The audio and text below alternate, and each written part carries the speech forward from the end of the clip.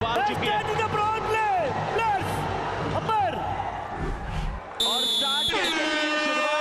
और power play यानी कि डबल दो वज़ीर आपको अब नज़र आएँगे सुभाषी अर्जुन और यहाँ शुरुआत में ही पहला शिकार बना लिया गया है स्काई के तहत सूरज ने किया ये पहला शिकार और सागर को किया मैच से बाहर।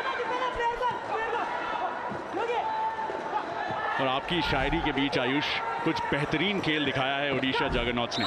और फिर से दिखाया है कि क्यों वो साइड टू बीट है इस टूर्नामेंट में। गुजरात जायंट्स ने भले ही टेबल टॉप की हो, लेकिन पिछले मैच में गुजरात जायंट्स को मोमेंटम मिला था। और ओडिशा जगरनॉट्स फिर भी थोड़ी सी वीक टीम के साथ खेल रहे थे अपने आखिरी दो मुकाबले। टॉप ऑफ़ द टेबल गया, लेकिन टॉप फॉर्म वापस आ गया है। तीस अंक अब हो चुके हैं उनके। 18 अंक गुजरात जायंट्स के 12 का फासला। छह मिनट दस सेकंड का खेल जो है वो और खेला जाना बाकी है। इस मैच की यदि आप बात करते हैं तो लगभग एक मिनट का समय मैच के ऊपर बिता चुके हैं। अक्षय और अभिनंदन पाटिल दोनों ही खिलाड़ी बहुत सारा तजुर्बा अपने साथ मैट के ऊपर लेके आते हैं। एक्टिव जो टाइम है उनका वो बढ़ता हुआ लगातार नज़र आ रहा है। पावर प्ले की सिचुएशन है। स्काई डाई लगाने की कोशिश है। क्या वहाँ पर अर्जुन शिकार बना पाएँगे? तीन अंक अपनी टीम के लिए ले जाएँगे। अक्षय भंगारे को अर्जुन ने तीन अंकों की सलामी दी और कहा जनाब हमारी टीम के लिए भी हमें और अंक कमाने हैं। यहाँ उनको जैसे ही खो मिला, चारों लिम हवा में लहराए और उसके बाद सेंटर लेन पे भी नहीं टकराए। निराश है अक्षय भांगरे। और होना भी चाहिए क्योंकि उनमें वो मादा है, उनमें वो दमखम है। और उनका ऐसा रुतबा है अल्टीमेट खो खो में कि उन्हें इससे ज़्यादा देर रुकना चाहिए था। क्योंकि अब हुआ ये है कि डेजिग्नेटेड वज़ीर जो कि ऑलरेडी काफ़ी मेहनत मशक्कत कर चुके थे। वो भी ज़्यादा देर नहीं टिक पाए। अभिनंदन पाटिल डिसमिस हुए। लेकिन उड़ीसा जगनॉट्स का पहिया बहुत गति से घूमता हुआ अब इस मुकाबले में। लगातार क्रॉस लेन का इस्तेमाल करते हुए आदित्य आगे जा रहे थे और यही आपको करना होता है क्योंकि एक बार जब आप अपने कंधे मोड़ देते हैं ना तो वहाँ से आपको वापस आने की अनुमति मिलती नहीं है। 36 पे ओडिशा जगन्नाथ है। 18 पे गुजरात जायंट्स की टीम है। और ये जिन्होंने और ज़्यादा सुर्खियाँ बटोरी हैं, लेकिन अपना डिफेंसिव काम, अपनी डिफेंसिव ज़िम्मेदारी बखूबी नहीं निभा पाए। थोड़े से अकेले भी रह गए वहाँ पे उस मैच में।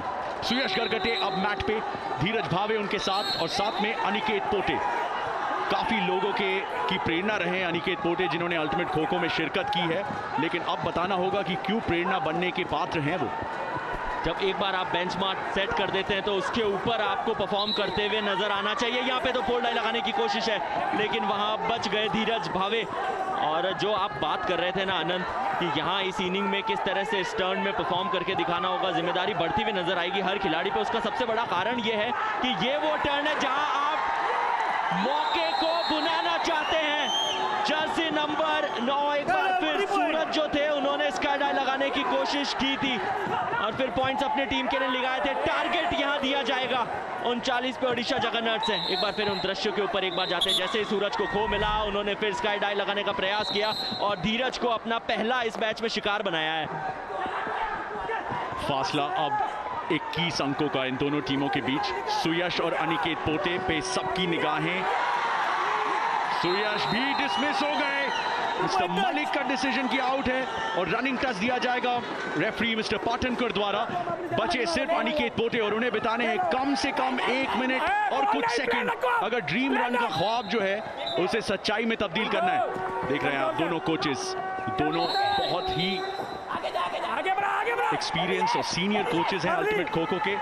संजीव शर्मा, उनके साथ अश्विनी कुमार शर्मा। ये शर्मा की लड़ाई आयुष। आनंद, मुझे ऐसा लग रहा है कि आपको इस समय अश्विनी शर्मा का चेहरा जो है वो महज लाल लग रहा होगा, लेकिन खिलाड़ियों को उनके अंदर काल लग रहा होगा, गुस्से में थे। से देखते हैं आउट हुए कैसे।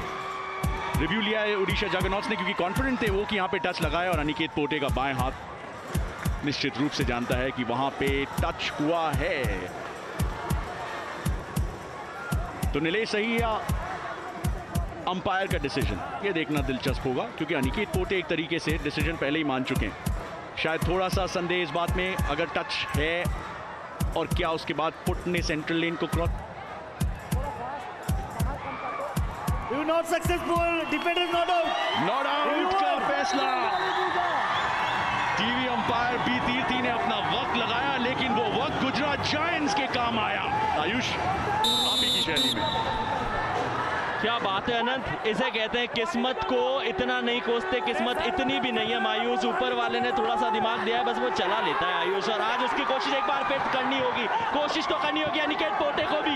मैट के ऊपर जितना ज़्यादा समय बिताएँगे, वो अपनी टीम के लिए ड्रीम रन करवाएँगे। क्या यहाँ शिकार बन जाएँगे?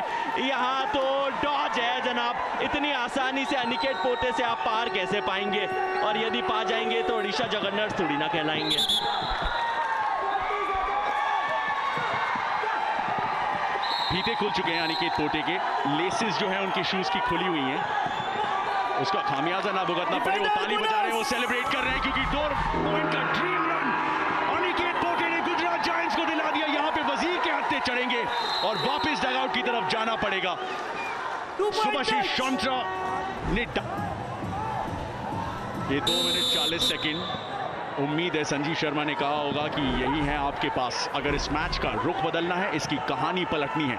क्योंकि फ़िलहाल ओडिशा जगनॉट्स के, के पास न केवल बढ़त है उनके पास एक ऐसा डिफेंस है जो कि पहली और दूसरी इनिंग्स दोनों में ही उतना ही जागरूक रहता है। और अटैकर्स को परेशान करके रखता है। तो यहाँ पे जितना वक्त ये मैच बिता सकता है उतना बिताना चाहिए। एक और ड्रीम रन की कोशिश करनी चाहिए संजीव शर्मा की टीम को इस मैच को। वरना कहीं हाथ से ना निकल जाए बाजी टर्न चार की शुरुआत होने से पहले ही। टारगेट यहाँ दिया जाता है। फासला जो है वो अभी भी तेईस अंक का है। कोशिश करनी होगी कि गुजरात जाइंट्स के खिलाड़ियों को और शिकार बनाया जाए ताकि टारगेट भी बढ़ जाए स्काई लगाने का प्रयास ज़रूर किया था उसमें सफलता भी मिलेगी अर्जुन को। तीन और अंक का इजाफा कर लेंगे। गोविंद को करेंगे मैच से बाहर। अभी विनायक और नीलेश, ये खिलाड़ी एक्टिव है। एक मिनट चौवालीस सेकंड मैच पे बिताने। अभी भी ड्रीम रन पूरा किया जा सकता है। ये जो फासला है, उसको कम कर सकती है गुजरात जायंट्स अनंत। मेरे हिसाब से अभी हमने अल्टीमेट खो ऑफ़ द मैच देखा है। अर्जुन सिंह के हाथ ही तीर बन गए वहाँ पे। बेहतरीन स्काई डाइव इतनी खूबसूरती से एग्जीक्यूट किया। अब वो मैच का रुख कितना पलटेगी ये मालूम नहीं, लेकिन बेहतरीन तरीके से, और अश्विनी कुमार शर्मा की सेलिब्रेशन अक्सर बताती है कि उन्होंने किस तरीके से आका उस स्काई को। इस तरह से मुड़े, हवा में गए उनके पैर, पूरा अपना रीच उन्होंने दिखाया, और तीन अंक से खाता भी अपना और मज़बूत करवाया। चलिए यहाँ पे फिर से टच क्लेम ज़रूर कर रहे हैं अविनाश, और आउट भी दिया है अंपायर ने। क्या रिव्यू मांगेंगे यहाँ पे विनायक? विनायक की निगाहें तो ज़रूर थी, वो थोड़े से असंतुष्ट थे। समय ज़रूर लिया उन्होंने, लेकिन मांग नहीं की रिव्यू की। 50 सेकंड का समय और मैट के ऊपर बिता सकते हैं, या नीलेश पाटिल उनके पास मौका है। बैच ये तीसरा चल रहा है।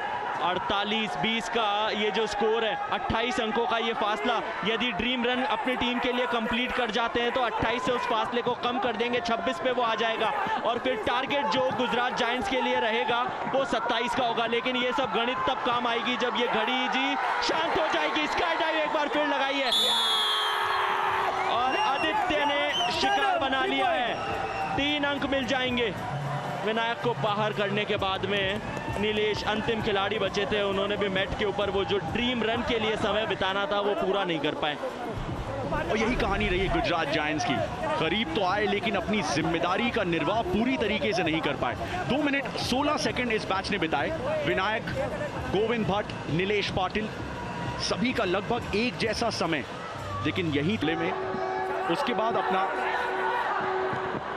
अंतिम मुकाबला जो है गुजरात जॉइंट्स ने जीता ज़रूर, लेकिन यहाँ पे जीतना उनके लिए ज़्यादा अहम। और ये डिफेंसिव मैच इनके लिए अभी सिर्फ़ बचना ज़रूरी, क्योंकि ड्रीम रन नहीं कर सकते थे। टूटा थोड़ा सा जल्दी बच गया। छह सेकंड अभी भी बाकी। दबाव जो है वो साफ़ नज़र आता है, और ये जो हुटर है कभी कभी ऐसे ही बच जाता है, जब दबाव में हुटर बचाने के लिए। ये सही समय, ये सही